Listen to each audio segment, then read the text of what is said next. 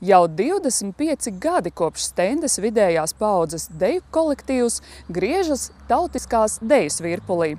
Vakar, ciemojoties mēģinājumā, pārliecinājāmies, ka deju solis netop gausāks arī stipra lietus laikā.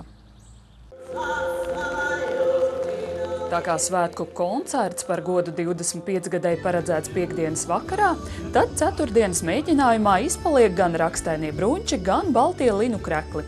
Toties deju solis un smaids dejotāju sejās gan nē. To nespēja sabojāt pat stiprais lietus. Teikā es dejoju no 2002. gada. Tas 11 gadi laikam sanāk. Bet vispār es esmu saistīta jau no pašās pirmās klasītes. Tas nekas, kas vecākā. Bet man tiešām patīk tās šarpākās dejas. Ko tā deja dod tam dejotājam?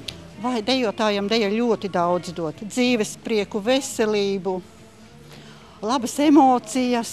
Visiem pamatā darbs ir saistīts ar, ar stresu, ne, un, un tā ir tāda izlādēšanās arī. Var labi izkustēties, var, teiksim, pēc da nogurdinošas darbdienas nu, atslābināties tā patīkamā veidā. Dejoju jau no 4 gadu vecuma.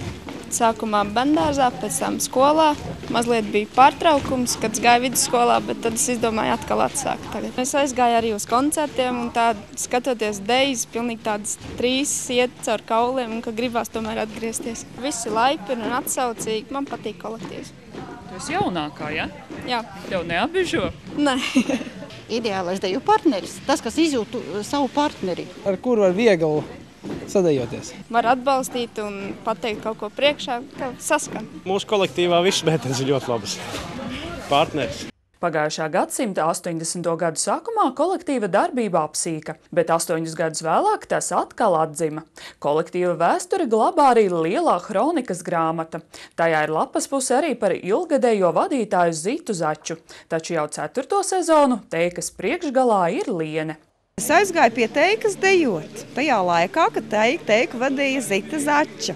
Nu, un es aizgāju uz diviem mēģinājumiem, un tad Zita nezinu kādu iemeslu dēļ, nu viņai pašai vienu zināmu, pieņēma lēmumu, kad viņa teiku vairāk nevadīs.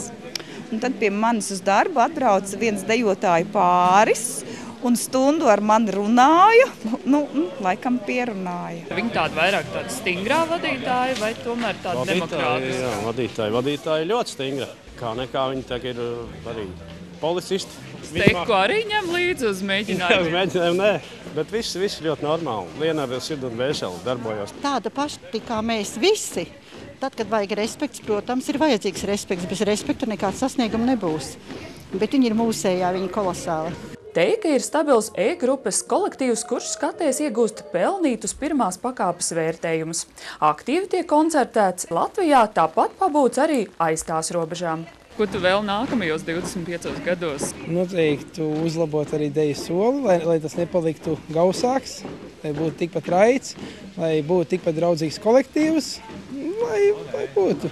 Izturību, lai būtu tikpat daudz dejotāju un lai nepazūd tas dzīves prieks, kas ir kolektīvā. Dejotājiem novēlu uz priekšu arī visu to darīt ar, ar prieku un ar sirdi, jo tas, kas nav sirdī un ja tas netiek darīts ar prieku, tad tas laikam nav tavs. Lai raita solis un, un turpinās teiks misiju. Teika nav vienīgā, kura nedēļas nogalē svinēs svētkus. Arī laidzinieki vidējās paudzes deju kolektīvs Virpulis sestdien atzīmēs savu 30 gadi. Daci Mieriņa, Kaspars Zvirgzdiņš, Talsu televīzija.